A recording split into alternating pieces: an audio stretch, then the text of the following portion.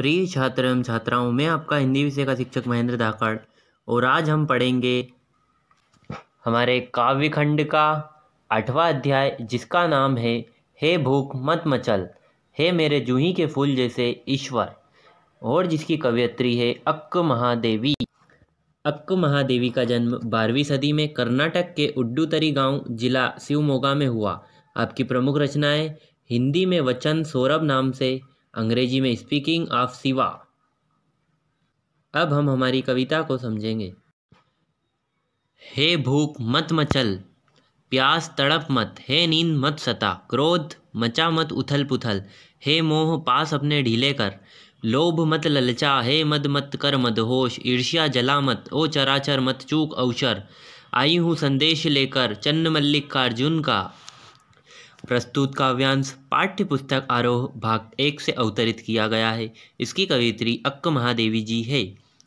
उक्त काव्यांश में कवित्री ने इंद्रियों पर नियंत्रण रखने का संदेश देते हुए लिखा है कि, हे भूख तू मचल कर मुझे मत सता। सांसारिक प्यास को कहती है कि तुम मन में और पाने की इच्छा मत जगा। हे नींद, तू मानव को सताना छोड़ दे, क्योंकि नींद से उत्पन्न आलस्य के कारण वह प्रभु भक्ति को भूल जाता है। हे क्रोध, तू उथल पुथल मत मचा, क्योंकि तेरे कारण मनुष्य का विवेक नष्ट हो जाता है। हे मोह, पास अपने ढीले कर। वह मोह को कहती है कि वह अपने बंधन ढीले कर दे। तेरे कारण मनुष्य दूसरे का अहित करने का सोचता रहता है। लोभ मत ललचा। हे लोभ, तू मानव को ललचाना छोड़ दे। हे अहंकार, तू मनुष्य को अधिक पागल न बना। ईर्ष्या, जला मत। ईर्ष्या, तू मनुष्य का जलाना छोड़ दे।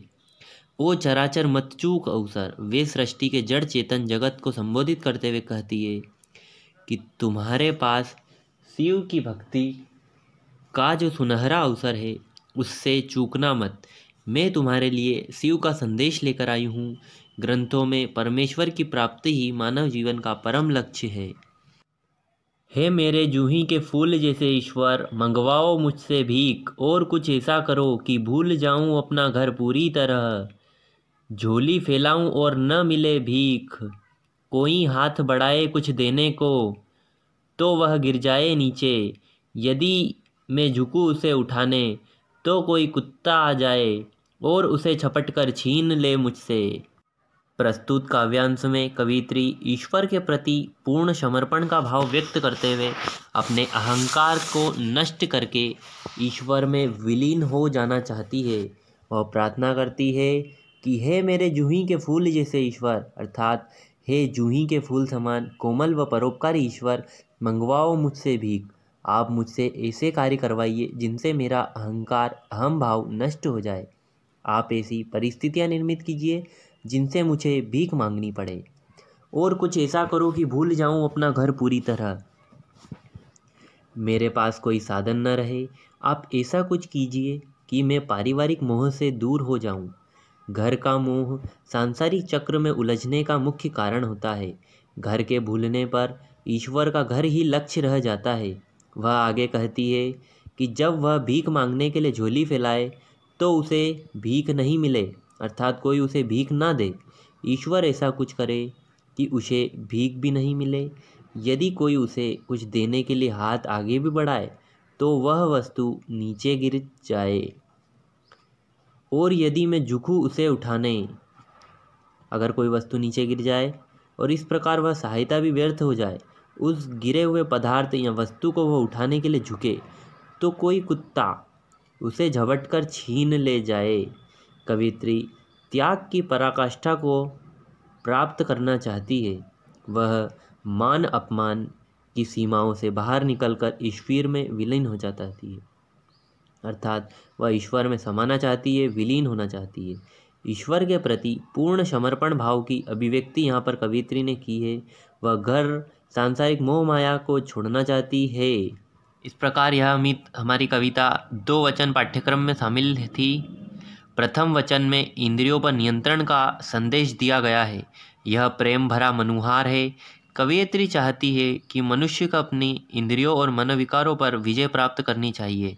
इंद्रियों को वश में करने व मनोविकारों पर विजय प्राप्त करने से ही शिवत्व की प्राप्ति संभव है।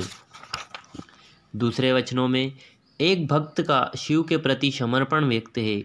शिव की अनन्य भक्त अक्क महादेवी अपने प्रभु की अनुकंपा के लिए हर भौतिक वस्तु से अनासक्त या विरक्त रहना चाहती है।